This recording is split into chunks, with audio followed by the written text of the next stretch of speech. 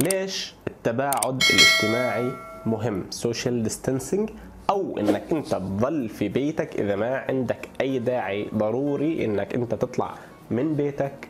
إشي كثير ضروري للحماية والوقاية من انتشار فيروس كورونا. اللي بدي أحكي لك إياه إنه هذا الفيروس سرعة انتشاره مقارنة بكثير أمراض هي سرعة انتشار كبيرة. أي نعم في أمراض ثانية سرعة انتشارها أكبر لكن في لها علاج أو لقاح أو whatever اللي بدي أحكي لك إياه اليوم إنه هذا الفيروس سرعة انتقاله للمرة الأولى هي 2.5 وكمان بنتقل بشكل أو بتم انتشاره على شكل أسي.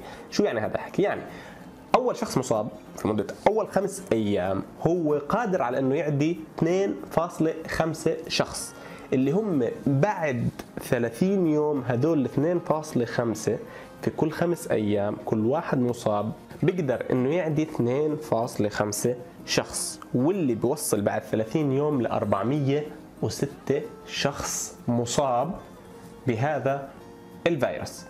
يعني سرعة انتقال هائلة. تخيل هدول ال 406 بعد خمس أيام كم راح يصيروا؟ بعد شهر كمان كم راح يصيروا؟ فسرعة انتشار هذا المرض كبيرة. عدم وجود لقاح وعدم وجود علاج لهذا الفيروس هو اللي مخليه كثير خطير لأنه في حالات متقدمة وعلى أعمار معينة وعلى حالات صحية معينة هو يؤدي إلى الوفاة وبسبب الانتشار الكبير كثير اللي قاعدين نشهده فالمنظومة الصحية في أكثر من دولة عم تنهار مش لأنه ما عندهم قدرة على العلاج أو الاهتمام بالمرضى أو ما عندهم مستشفيات لكن لأنه القدره الاحتمالية لهاي الدول للمنظمات أو خلينا نحكي للمنظومة الصحية الموجودة في هذه الدول وفي كثير غيرها في كل الدول أكيد ما عندها قدرة على استيعاب كل العدد الهائل اللي عم منتشر فيه الفيروس. زي إيطاليا مثلا لما أنت تسمع هيك في يوم وليلة والله 1500 حالة أو 2000 حالة في يوم واحد زيادة.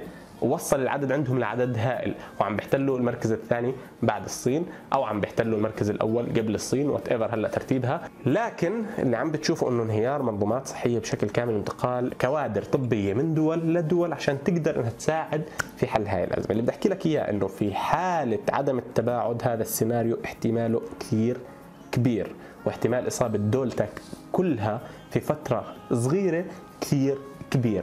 احتمال المنظومات الصحيه تتحمل هذه الأعداد كثير صغير.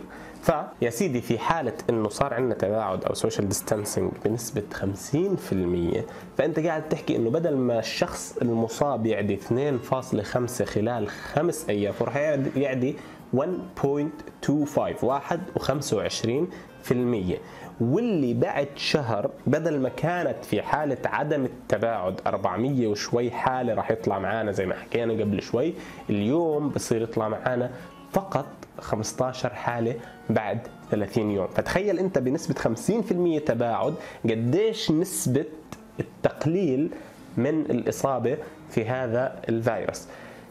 إذا صار عندنا تباعد بنسبة 100% واللي هي حالة الحظر الكامل للتجول خلينا نحكي أو حالة عدم التواصل الجسدي أو الاقتراب من بعض بنسبة 100% للمدة المطلوبة فأنت فعليا توصل لزيرو نسبة إصابة واللي هو أكيد احتمال يمكن مستحيل أو ضئيل لكن إن شاء الله أنه نقدر نوصل لهذا الموضوع. طب في حالة تباعد 75% فالشخص المصاب الواحد عنده قدرة أنه يعدي فقط بعد خمس أيام فاصلة ستة يعني ستة بالعشرة شخص.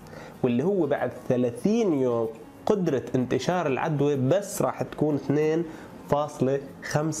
شخص واللي هم أكيد لو كنا مسيطرين بهذا العدد أو حتى بنسبة 50% فالقدرة على السيطرة وإعطاء الرعاية الصحية واحتمال المنظومة الصحية والطبية في البلد لهذا العدد أكيد تفوق قدرة هذا العدد على أنها تسيطر على المنظومة الصحية. بالعكس المنظومة الصحية هي اللي راح تسيطر على هذا العدد. وفي حال إعطائهم هاي الرعاية الصحية أول شيء نضمن طبعا بعد مشيئة ربنا علاج هدول الأفراد أو إنهم هم يتعافوا من هذا الفيروس نضمن شغلة ثانية إنه ما راح ينشروا هذا المرض لغيرهم بحجرهم لمدة أسبوعين لثلاث أسابيع مع الرعاية الصحية المطلوبة بعد انتقالهم للمنزل والحجر في المنزل لمدة أسبوعين هيك أنت بتكون سيطرت وساهمت في إنك أنت تحل معضلة ممكن إنها تسبب كارثة بشرية إذا ما تم السيطرة عليها.